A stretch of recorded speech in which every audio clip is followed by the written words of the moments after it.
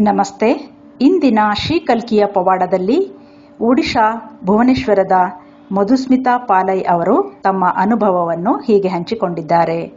ಎರಡು ಸಾವಿರದ ಇಪ್ಪತ್ತೆರಡರಲ್ಲಿ ನವಗ್ರಹ ಹೋಮದಲ್ಲಿ ಭಾಗವಹಿಸಿದ ನಂತರ ನಮಗಾದ ಪವಾಡವನ್ನು ನಿಮ್ಮೊಂದಿಗೆ ಹಂಚಿಕೊಳ್ಳುತ್ತಿದ್ದೇನೆ.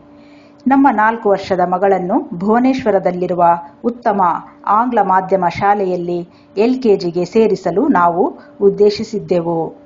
ಅದಕ್ಕಾಗಿ ನಾವು ನಾಲ್ಕು ಶಾಲೆಗಳಲ್ಲಿ ಸೀಟಿಗಾಗಿ ಅರ್ಜಿ ಸಲ್ಲಿಸಿದ್ದೆವು. ರಾಜ್ಯ ಸರ್ಕಾರದ ಮಾರ್ಗಸೂಚಿಗಳ ಪ್ರಕಾರ ಶೇಕಡ ಇಪ್ಪತ್ತೈದು ಸೀಟುಗಳು ಆದಾಯದ ಮಾನದಂಡಗಳ ಆಧಾರದ ಮೇಲೆ ಉಚಿತವಾದ ಸೀಟುಗಳಾಗಿರುತ್ತವೆ. ಮಗಳಿಗೆ ಉಚಿತ ಸೀಟಿಗಾಗಿ ಅರ್ಜಿ ಸಲ್ಲಿಸಿದ್ದೆವು. ನಾವು ಮಾರ್ಚ್ ಎರಡು ಸಾವಿರದ ಇಪ್ಪತ್ತೆರಡರಲ್ಲಿ ನವಗ್ರಹ ಹೋಮದಲ್ಲಿ ಭಾಗವಹಿಸಿದೆವು. ಮತ್ತು ನಮ್ಮ ಮಗಳಿಗೆ ನಮ್ಮ ಆಯ್ಕೆಯ ಶಾಲೆಯಲ್ಲಿ ಉಚಿತ ಸೀಟು ಸಿಗುವಂತೆ ಪ್ರಾರ್ಥಿಸಿದೆವು. ಹೋಮದ ನಂತರ ಆ ನಾಲ್ಕು ಶಾಲೆಗಳ ಆಯ್ಕೆ ಪಟ್ಟಿಗಳನ್ನು ಪ್ರಕಟಿಸಲಾಯಿತು. ನಮ್ಮ ಮಗಳು ನಮ್ಮ ಆಯ್ಕೆಯ ಶಾಲೆಯಲ್ಲಿ ಉಚಿತ ಸೀಟಿನಲ್ಲಿ ಆಯ್ಕೆಯಾದುದನ್ನು ನೋಡಿದಾಗ ನಮ್ಮ ಸಂತೋಷಕ್ಕೆ ಪಾರವೇ ಇರಲಿಲ್ಲ. ನಾವು ಎಂಟನೇ ತರಗತಿಯವರೆಗೆ ಶುಲ್ಕವನ್ನು ಪಾವತಿಸಬೇಕಾಗಿರಲಿಲ್ಲ. ಇದು ಹನ್ನೆರಡನೇ ತರಗತಿಯವರೆಗೆ ವಿಸ್ತರಿಸಬಹುದಾದ ಪ್ರಯೋಜನವಾಗಿದೆ.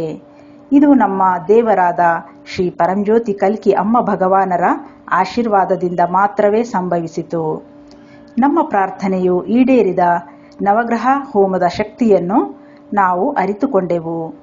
ಕರುಣಾಮಯಿ ಶ್ರೀ ಪರಂಜ್ಯೋತಿ ಕಲ್ಕಿ ಅಮ್ಮ ಭಗವಾನರ ಕೃಪೆಗೆ ಮಿತಿಯಿಲ್ಲ. ನಮ್ಮ ಮಗಳನ್ನು ಆಶೀರ್ವದಿಸಿದ್ದಕ್ಕಾಗಿ ನಾವು ಅವರ ಪಾದ ಕಮಲಗಳಲ್ಲಿ ಅಪಾರ ಕೃತಜ್ಞತೆಯನ್ನು ಸಲ್ಲಿಸುತ್ತೇವೆ.